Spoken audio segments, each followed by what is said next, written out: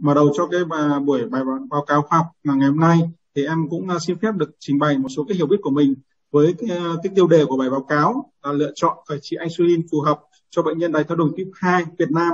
À, chúng ta sẽ sử dụng insulin nền hay insulin trộn sẵn. Về nội dung của bài báo cáo thì bao gồm các cái khuyến cáo về khởi trị và chỉnh liều insulin nền hiện nay.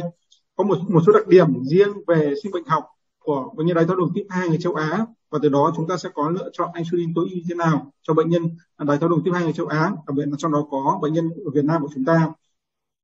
Như quý thầy cô và các anh chị đã biết thì hiện nay có sự gia tăng về cái tỷ lệ bệnh ừ, nhân mắc đái tháo đường à, trên toàn thế giới. Chúng ta thấy rằng năm 2014 thì con số là 424 triệu người và người ta dự đoán rằng năm 2045 con số là 60 à, 628,6 triệu người, tức là nó tăng khoảng 48%. Tuy nhiên cái sự gia tăng này nó không có đồng đều ở giữa các khu vực mà đặc biệt là nó gia tăng nổi trội ở khu vực châu Á với cái tỷ lệ bệnh nhân đái tháo đường tiếp 2, à, bệnh nhân đái tháo đường nói chung là châu Á là chiếm tới 60% trên toàn thế giới. À, như chúng ta đã biết khi mà uh, về các cái sinh bệnh học ở bệnh nhân đái tháo đường ừ, tuyếp 2 thì liên quan nhiều đến cái sự suy giảm chức năng tế bào beta thì chúng ta vẫn được uh, giảng rằng uh, tại thời điểm chẩn đoán thì chức năng tế bào beta chỉ còn khoảng 50% và sau đó thì cái chức năng tế bào này beta nó vẫn tiếp tục suy giảm theo thời gian và chỉ trong khoảng 6 năm uh, kể từ lúc được chẩn đoán thì chức năng tế bào beta nó chỉ còn khoảng là 20%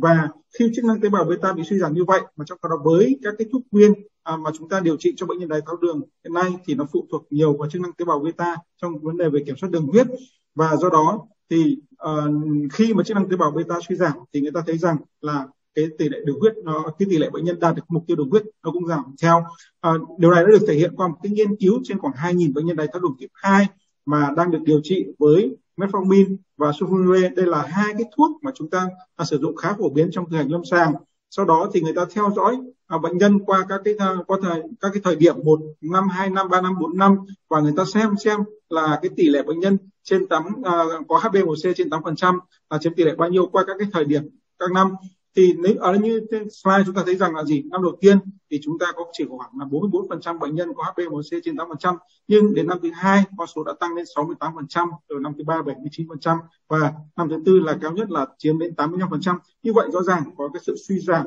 về tình trạng kiểm soát đường huyết khi mà ở những bệnh nhân đang sử dụng thuốc viên có thể là đơn trị liệu hoặc là phối hợp uh, thuốc viên hai loại thuốc metformin và SU như trong các dữ liệu nghiên cứu nói trên.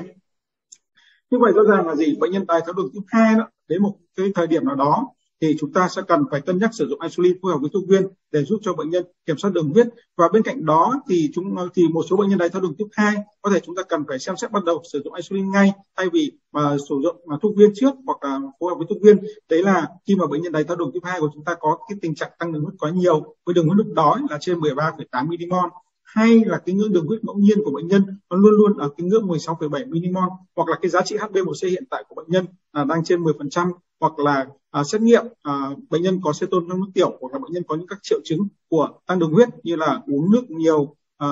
đi đái nhiều rồi là gầy rút cân hoặc là một số trường hợp khác mà bệnh nhân cũng là bệnh nhân đái tháo đường tiếp 2 nhưng mà chúng ta phải sử dụng insulin thay vì sử dụng thuốc viên như là bệnh nhân đái tháo đường tiếp 2 có thai hay là chúng ta chuẩn bị phẫu thuật cho bệnh nhân đái tháo đường tiếp 2 do một cái bệnh lý khác à, như vậy thì ở bên cạnh cái chuyện mà chúng ta khởi trị insulin nền à, khởi trị insulin mà phối hợp với hai đến ba loại thuốc viên tức là khi mà bệnh nhân đang thất bại với đơn trị liệu và à, thất bại với phối hợp thuốc và HbA1c là trên 7,5% thì trong một số trường hợp thì chúng ta cũng có thể uh, khởi trị ngay. Đấy là gì? Đấy là HbA1c trên 9% mà có thể là lúc đó bệnh nhân mặc dù là điều trị bằng có thể là chỉ điều, điều trị bằng một loại thuốc viên hoặc là phối hợp hai loại thuốc viên nhưng mà cái ngưỡng HbA1c hiện tại của bệnh nhân là trên 9% hoặc là bệnh nhân đái tháo đường tiếp 2 tuy mới được chẩn đoán và chưa sử dụng nguyên nhưng mà HbA1c hiện tại là trên 9% thì trong trường hợp này chúng ta cũng phải cân nhắc là khởi trị insulin. Tuy nhiên là chúng ta khởi trị insulin như thế nào thì nó um, nó đem lại cái lợi ích tối đa cho người bệnh. Thì người ta thấy rằng là gì? Nếu chúng ta khởi trị mà liều insulin sớm thì nó liên quan đến cái chuyện mà chúng ta cải thiện được chức năng tế bào beta cũng như là cái khả năng đạt được cái uh, hiệu quả về uh, mục tiêu mục tiêu đường huyết là giá trị HbA1c ở à, dưới 7%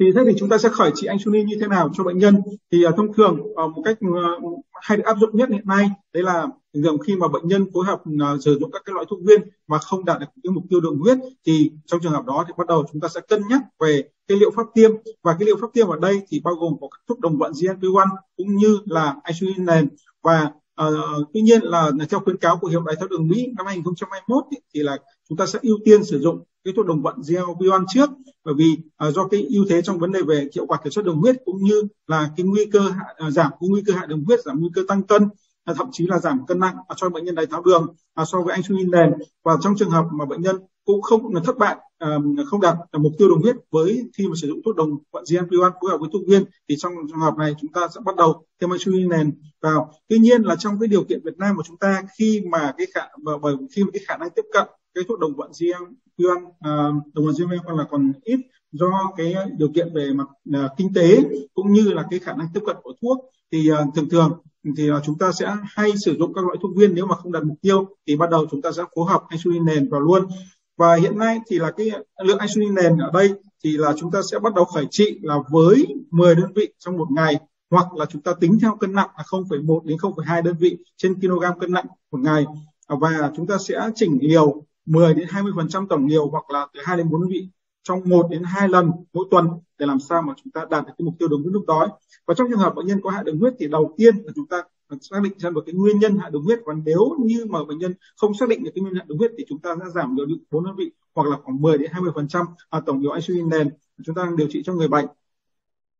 Ờ, với khuyến cáo của hiệp hội ờ, các cái nhà đối tượng lâm sàng của Mỹ thì họ đưa ra một cái cách thức chỉnh nhiều cách ờ, tinh tế tinh tế hơn và nó xác thực hơn. Người ta đầu tiên là người ta sẽ dựa vào cái giá trị HbA1c của bệnh nhân. Nếu mà HbA1c của bệnh nhân là dưới 8% đó thì chúng ta chỉ cần sử dụng cái liều insulin nền với cái liều khoảng từ 0,1 đến 0,2 đơn vị trên kg cân nặng. Tuy nhiên trong trường hợp mà bệnh nhân có cái ngưỡng HbA1c cao hơn là trên 8% ở đây thì trong trường hợp này chúng ta có thể cân nhắc sử dụng cái liều insulin nền cao hơn là ngưỡng khoảng từ 0,2 đơn vị đến 0,3 đơn vị trên kg cân nặng. Sau đó thì chúng ta sẽ điều chỉnh cái liều um, insulin nền dựa vào cái giá trị đường huyết lúc đói vào mỗi 2 đến 3 ngày nếu như mà giá trị đường huyết lúc đói mà trên 10 mg thì trong trường hợp này chúng ta sẽ thêm khoảng 4 đơn vị insulin nền. Còn nếu như giá trị đường huyết lúc đói là 7,8 đến 10 thì chúng ta thêm khoảng hai đơn vị. Còn nếu trong trường hợp đường huyết lúc đói từ 5,6 cho đến 7,8 thì chúng ta à, thêm một à, đơn vị mà thôi. Um, còn trong trường hợp bệnh nhân có nguy cơ hạ à, bệnh nhân có hạ đường huyết mà với cái giá trị đường huyết lúc đói mà dưới 3,9 thì chúng ta giảm cái liều insulin nền khoảng từ 10 đến 20 phần trăm. Tuy nhiên nếu mà cái giá hạ đường huyết mà với cái ngưỡng đường huyết thấp hơn là dưới 2,2 mm chẳng hạn thì chúng ta sẽ giảm cái liều insulin nền cao hơn là khoảng từ 20 đến 40 phần trăm tổng liều insulin nền đang tiêm của bệnh nhân. À, Hiệp hội Đái tháo đường Canada cũng đưa ra cái khuyến cáo trong một thời trị insulin nền cũng như uh, chỉnh liều. Uh, cũng có một cái sự khác uh, một chút so với hai cái khuyến cáo ở trên. Đấy là ở đây họ lấy một cái mục tiêu đường huyết lúc đó là từ khoảng từ 4.0 đến 7 mmol và với với cái liều là cá thể hóa điều trị và cái liều khởi đầu ở đây là 10 đơn vị à, trước khi đi ngủ. Và sau đó thì à, người ta sẽ à, căn cứ vào cái giá trị đường huyết lúc đói hàng ngày. Và mỗi ngày thì người ta cứ tăng một đơn vị cho đến khi làm sao mà đạt được các mục tiêu về đường huyết lúc đói. Và à, trong trường hợp mà à, chúng ta sẽ à, người ta thấy rằng là gì? Nếu mà có ít nhất là hai cơn hạ đường huyết trong một tuần hay có những cái cơn hạ đường huyết về đêm thì trong trường hợp này thì người ta sẽ khuyến cáo là chúng ta không nên tăng liều và còn nếu như mà cái mức độ đường huyết lúc đói giảm xuống dưới 5.5 mmol trên lít thì chúng ta sẽ nên giảm khoảng từ 1 đến 2 đơn vị để tránh cái nguy cơ hạ đường huyết cho người bệnh. Và trong trường hợp bệnh nhân có những cơn hạ đường huyết ban ngày đó thì chúng ta có thể cân nhắc chỉnh cái liều thuốc viên hạ đường huyết ban ngày để mà dự phòng để mà ngăn ngừa dự phòng cái nguy cơ hạ đường huyết ban ngày cho người bệnh. Tuy nhiên hiệp hội đái tháo đường Canada cũng khuyến cáo rằng khi mà chúng ta khởi trị ấy, và chúng ta chọn cái loại insulin nền cho bệnh nhân ấy thì chúng ta nên cố gắng ưu tiên lựa chọn các loại insulin nền analog là các loại insulin nền thế hệ mới. Nó ưu việt hơn so với insulin nền uh, thế hệ cũ uh, do cái nguy uh, ít kia ít gây nguy cơ hạ đường huyết đặc biệt là hạ đường huyết về ban đêm cho đối với người bệnh. Thế thì có nhiều các cái pha, uh, có một số các cái phác đồ khác nhau uh, để mà chỉnh cái uh, liều insulin nền của người uh, người bệnh. Uh, uh, người ta dựa vào cái giá trị đường huyết lúc đó thì ở đây em đưa uh, dựa từ các cái nghiên cứu đó thì em đưa ra ba cái phác đồ. Thì cái phác đồ đầu tiên tức là màu xanh da trời đó là chúng ta sẽ uh, tăng một đơn vị mỗi ngày. Uh, nếu như mà đường huyết lúc đói không đạt mục tiêu nhưng mà giống như là cái khuyến cáo của hiệp hội đài tháo đường Canada hoặc là chúng ta uh, phác đồ thứ hai đấy tức là đường là màu uh, xanh lá cây tức là chúng ta sẽ tăng hai đơn vị mỗi ba ngày nếu như đường huyết lúc đói à, không đạt mục tiêu đây, đây là nó giống theo cái khuyến cáo của hiệp hội đái tháo đường Mỹ hoặc là chúng ta sẽ căn cứ vào cái giá trị đường huyết lúc đói của bệnh nhân và chúng ta à, tùy đó thì chúng ta sẽ chỉnh liều trong khoảng trong cái giới hạn khoảng từ 2 đến à, 8 đơn vị à, trung bình mỗi hai ngày để làm sao mà đạt được cái mục tiêu đường huyết à, lúc đói. Và thì người ta thấy rằng là gì? Trong ba cái cách lựa chọn chỉnh liều uh,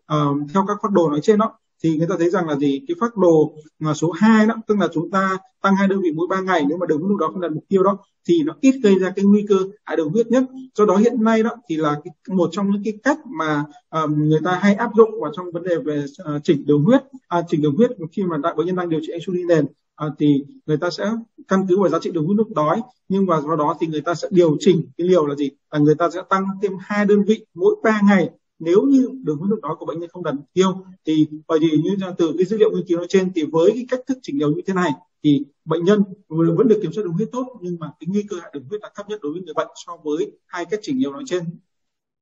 Tuy nhiên khi mà chúng ta chỉnh liều uh, ờ, đường huyết uh, chỉnh liều insulin nền dựa trên cái giá trị đường huyết lúc đó cho bệnh nhân đó thì chúng ta cần phải phân biệt hai cái hiện tượng đó là hiện tượng đau và hiện tượng mà somogi đối với hiện tượng đau thì đấy là cái tình trạng mà bệnh nhân tăng đường huyết à, khi ngủ dậy do cái à, sự bài tiết của các cái hormone sinh lý trong cơ thể ví dụ như là cortisol à, thì trong trường hợp này thì à, ờ, chúng ta chỉ cần tăng nhiều insulin nền để để đạt được cái mục tiêu đường huyết lúc đó vào buổi sáng khi bệnh nhân ngủ dậy. Nhưng ngược lại đối với khi mà bệnh nhân có hiện tượng somogi tức là có tức là bệnh nhân này trải qua cái tình trạng hạ đường huyết vào lúc 2 đến 3 giờ sáng và cái tình trạng tăng đường huyết lúc ngủ dậy và cái hậu quả của hạ đường huyết lúc ban đêm. Thì trong trường hợp này thì thay vì tăng tăng, tăng lượng insulin nền để đạt được mục tiêu đường huyết khi ngủ dậy cho bệnh nhân thì chúng ta lại ngược lại thì chúng ta lại phải làm giảm liều insulin nền cho người bệnh. Và chúng ta phân biệt hai hiện tượng này một cách là chúng ta sẽ khai thác các cái triệu chứng trên lâm sàng. Ví dụ như là à, bệnh nhân có khai thác về tình trạng hạ đường huyết ban đêm của người bệnh hoặc là đôi khi có những cái triệu dấu hiệu không đặc hiệu nhưng mà chúng ta có nên nghĩ đến. Ví dụ như là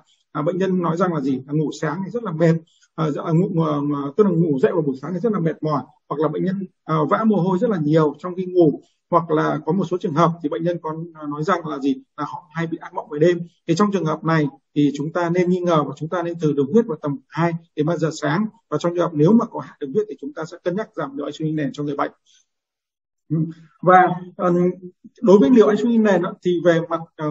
về mặt điều trị thì người ta thấy rằng là gì? Nó không có cái giới hạn liều à, tuy nhiên một số các cái dữ liệu nghiên cứu ở trên đối tượng bệnh nhân ờ, châu Á đặc biệt là ở trên đối tượng bệnh nhân Đông Nam Á và khi so sánh với cái nhóm bệnh nhân châu Âu thì người ta thấy rằng là gì? Đối với bệnh nhân Đông Đông Nam Á trong đó có cả Việt Nam chúng ta thì cái liều insulin trung bình insulin nền ở đây đó thì nó khoảng từ 22 đến 29 đơn vị. Trong khi đó bệnh nhân châu Âu thì cái liều insulin nền cao hơn là khoảng 40,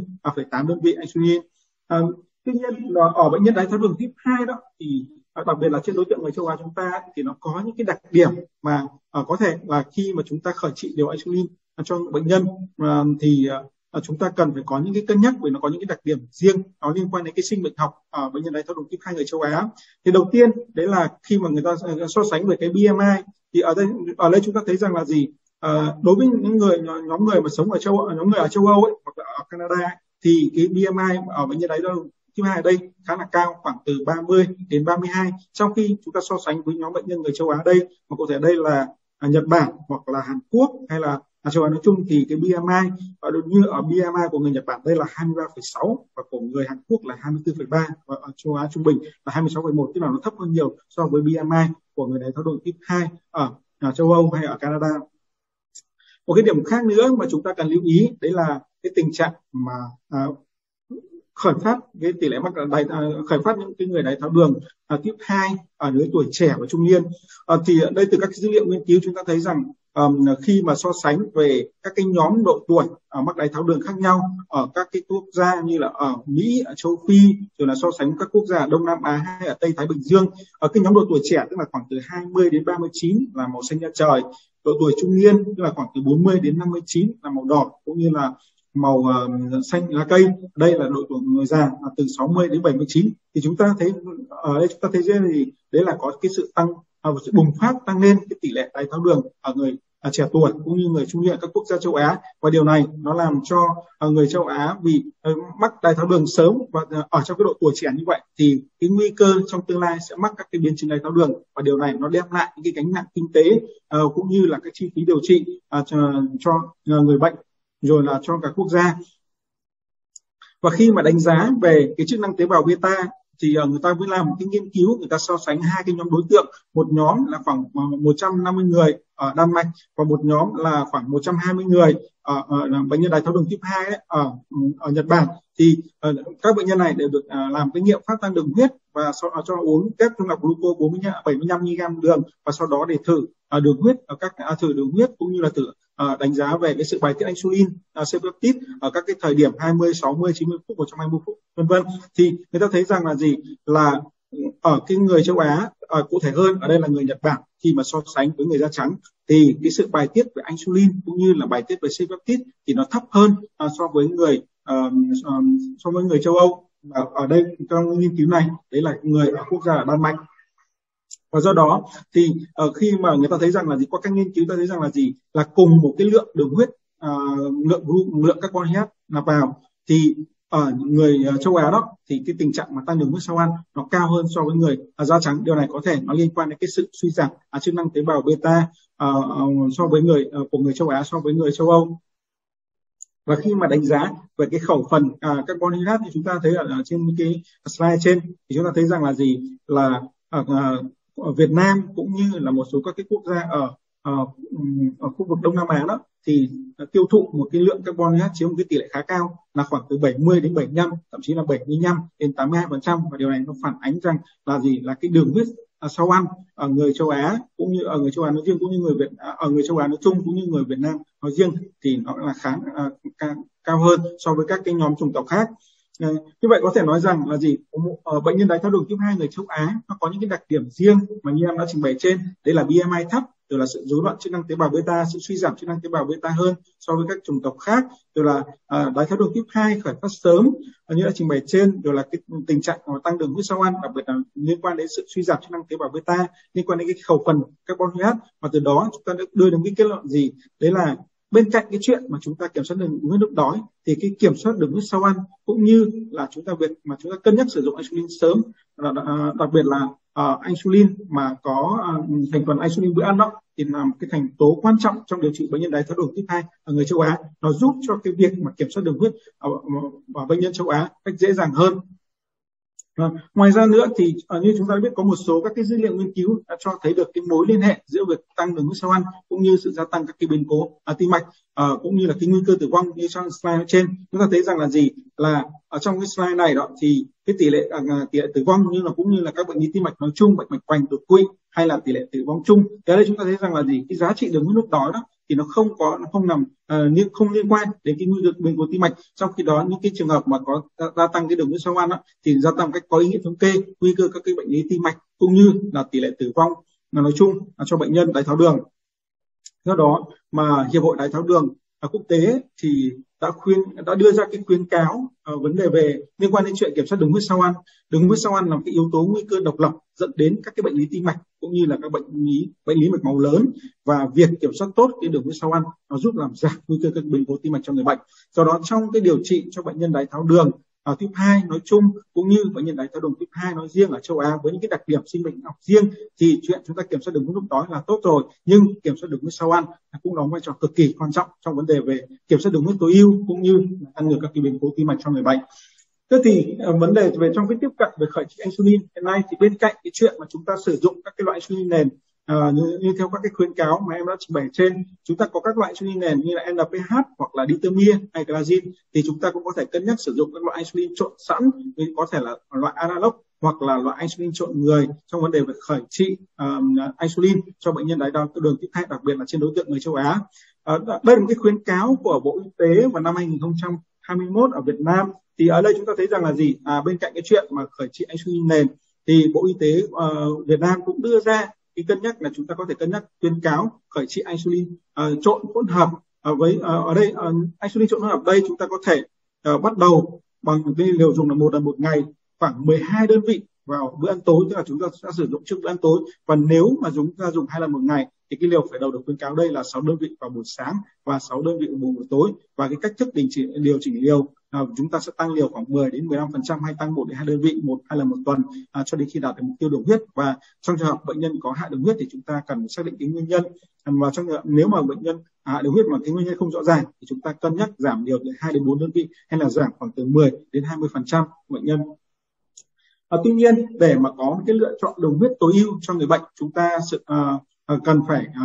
ờ, có một cái sự đánh giá về cái mô hình à, tăng đường huyết của người bệnh bằng cách là gì? Là chúng ta sử dụng đường à, chúng ta sử dụng một cái máy đo đường huyết chẳng hạn. Chúng ta sẽ theo dõi đường huyết ở à, trước các cái thời điểm bữa ăn cũng như là sau ăn. Để từ đó chúng ta đánh giá được cái uh, mô hình diễn biến tăng đường huyết của bệnh nhân như thế nào để đưa ra cái lựa chọn insulin phù hợp cho người bệnh. Ví dụ uh, như trường hợp A đây là một cái bệnh nhân mà chủ yếu là có tăng cái đường huyết uh, trước bữa ăn sáng cũng như là trước bữa ăn trưa hay là trước bữa ăn tối. Uh, nhưng mà bệnh nhân lại không có cái tăng đường huyết trước khi đi ngủ hoặc là tăng đường huyết sau bữa ăn tối. Và trong trường hợp này có thể chúng ta chỉ cần lựa chọn cái pháp insulin khởi trị mà insulin nền cho người bệnh. Nhưng ngược lại đối với trường hợp bệnh nhân B đó thì là như ở đây chúng ta thấy rằng là gì? Là vừa có tăng đường huyết trước bữa ăn sáng nhưng đồng thời bệnh nhân cũng có tăng đường huyết Ờ, ờ, ờ, sau bữa ăn tối và trong trường hợp này thì thay vì lựa chọn lựa insulin nền mà chúng ta nên khởi trị bằng một cái mũi insulin trộn. Bởi trong thành phần insulin trộn đó thì nó có thành phần insulin bữa ăn tối và chúng ta sẽ tiêm trước bữa ăn tối thì nó bên thì nó sẽ vừa kiểm soát được cái đường huyết sau bữa ăn tối và đồng thời cái thành phần insulin nền nó sẽ giúp chúng ta kiểm soát được cái đường huyết à, khi chúng uh, trước bữa ăn sáng của bệnh nhân.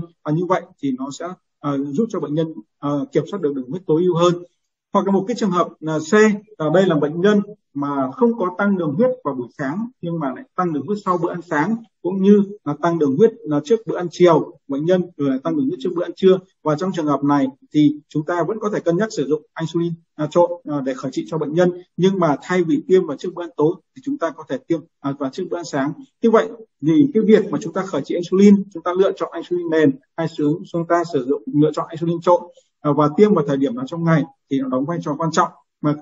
ờ, dựa trên là chúng ta sẽ theo dõi cái mô hình uh, tăng đường huyết của bệnh nhân như thế nào để có một cái để có lựa chọn insulin và tiêm vào cái thời điểm thích hợp cho người bệnh thì nó sẽ giúp cho người bệnh kiểm soát đường huyết tối ưu hơn. Thế thì các cái khuyến cáo hiện nay thì uh, vấn đề về khi nào thì chúng ta nên lựa chọn insulin trộn mà khi nào thì chúng ta lựa chọn insulin nền thì uh, bên cạnh cái chuyện mà chúng ta dựa vào cái uh, cái tăng đường huyết của người bệnh và bệnh nhân có tăng đường huyết sau ăn hay không thì uh, có một số tố, yếu tố khác chúng ta cũng nên cân nhắc lựa chọn. Thế là liệu rằng là gì? Ví dụ bệnh nhân trong tương lai có thể ờ, cả khả năng sử dụng cái phác đồ base bonus hay khi cần mà điều trị tăng cường hay không? À, đối với bệnh nhân à, đối với những cái bệnh nhân mà à, trẻ tuổi chẳng hạn đúng không mà có thể là cần phải sử dụng anh các cái loại um, insulin bolus à, trong tương lai khi mà cái khẩu phần ăn của bệnh nhân nó thay đổi liên tục chẳng hạn đúng không ạ? Thì trong trường hợp này thì uh, có thể chúng ta sẽ lựa chọn insulin nền và trong tương lai mà khi bệnh nhân cần điều trị tăng cường thì cái phác đồ base bolus sẽ hợp với bệnh nhân hơn à, hoặc là những ở những bệnh nhân mà có một hay hai bữa ăn chứa nhiều carbon hydrate thì uh, trong trường hợp này chúng ta có thể lựa chọn insulin uh, premix bởi vì nó liên quan đến cái chuyện mà insulin uh, là thành phần bữa ăn nó giúp cho kiểm soát đường huyết sau khi ăn uh, tốt hơn cho bệnh nhân. Hoặc là trong trường hợp có một số bệnh nhân mà đôi khi chúng ta cũng cái, cái, do cái lối sống của bệnh nhân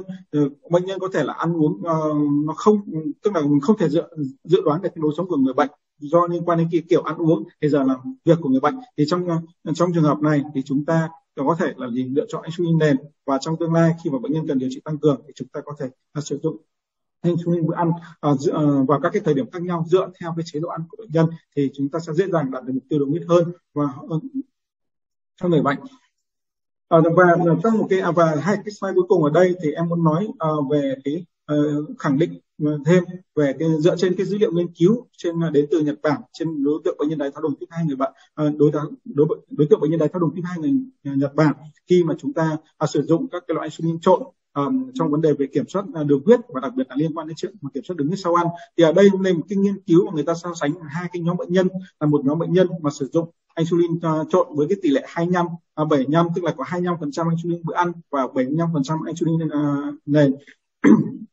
và trong cái, uh, trong khi đó thì cái uh, nhóm bệnh nhân thứ hai là sử dụng uh, insulin trộn theo tỷ lệ 50 50 tức là 50 insulin nhanh và uh, 50 insulin nền. Thì ở đây chúng ta thấy rằng là gì? Những cái nhóm bệnh nhân mà sử dụng loại insulin trộn với cái tỷ lệ cao hơn là 50 trên 50 50 50 đó thì cái tỷ lệ bệnh nhân đạt được cái mục tiêu về đường huyết à, về HbA1c dưới 7% cũng như là 6,5% thì nó đạt tỷ lệ nó đạt cao hơn so với cái nhóm bệnh nhân mà chỉ sử dụng uh, cái loại insulin trộn theo cái tỷ lệ là 25 75 và khi mà người ta theo dõi đường huyết ở các cái thời điểm khác nhau trong ngày thì người ta thấy rằng là cái nhóm bệnh nhân mà sử dụng cái loại insulin trộn với uh, với một cái tỷ lệ cao 50 50 tức là uh, dùng loại dùng insulin mà kiểm soát đường huyết uh, sau khi ăn uh, chiếm một tỷ lệ cao hơn thì cái nhóm bệnh nhân đó thì à,